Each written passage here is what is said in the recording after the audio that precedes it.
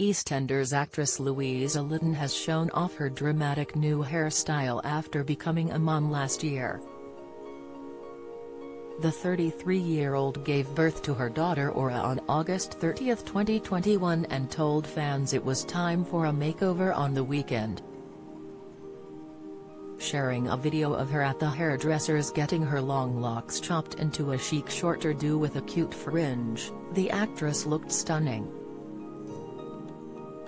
Accompanying the video was Beyoncé's new track Cozy giving a real high-energy feel to Louise's transformation.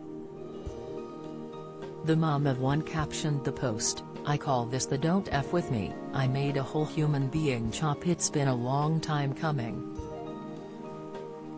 Being a mom finally gave me the confidence to sit in at Ava Holland hair chair and say I need a change, something for me. She said let's go let's really go. Fans loved the empowered video with many congratulating Louisa on her new look. One said, shorter hair makes you look younger. Looks fantastic. Another gushed, wow you look so sexy perfect goddess. While a third thought the mum of one looked like Bond girl Ana de Armas. Louisa required an emergency C-section when welcomed her first child into the world with husband Ben Bondurant last year. The London-born actress had originally planned a water birth using hypnobirthing techniques but unfortunately her labour didn't go to plan.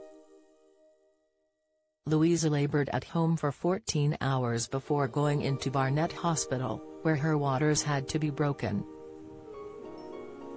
Daughter Aura eventually arrived on 30th of August, weighing 6 pounds 5 ounces.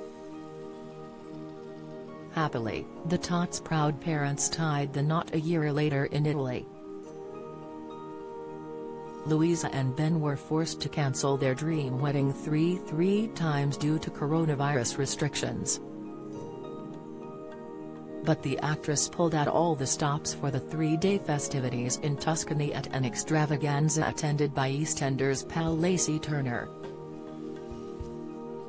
The happy couple, who got engaged in 2019, revealed how much their big day meant to them, speaking to OK! magazine.